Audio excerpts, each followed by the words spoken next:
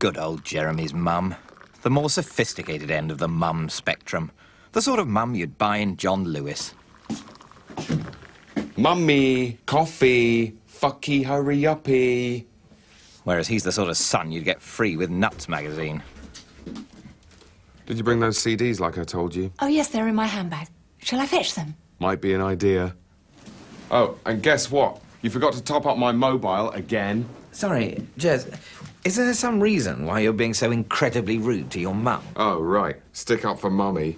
You don't know her, Mark. You don't know her tricks. Anyway, what's it to you? Do you want to fuck my mum? That's it.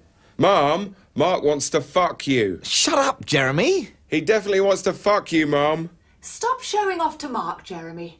Me? I'm not the one dressed like a prosy. Oh, please, Jez, th- this level of conflict may be usual for you, but it's not healthy. I'm going to have a heart attack. Oh, and I suppose your relationship with your mum is healthy, is it? Sitting in silence, watching Taggart, 30 years of mutual resentment eating away at you. We like Taggart, even the new ones. Where are those clothes I asked for? Uh, Martin's bringing them when he picks me up. Here we are. Who's Martin? Oh, God, not another boyfriend. Fucking hell, Mum. How many's that now? How come she gets all the bloody boyfriends? Okay, so he's ex-army, but keep calm. Martin. Hello, love. Shit, it's Paddy Ashdown. It's Indiana Jones. It's Indiana Ashdown. Pleased to meet you, Martin. I'm Mark. You're not the son. Uh, no, uh, that's the son. Aye. Are you my new daddy? Natalie's bringing up that bag of clothes you asked for. The daughter. I wonder what she's like. Maybe she's the one. Do you need a hand? No, fine. Can you give that to my dad. Sure. Would you like to come in for coffee? No, fine. Well, if she is the one, she's hiding it brilliantly. So, Martin, Jackie tells me you're a Scots Guardsman.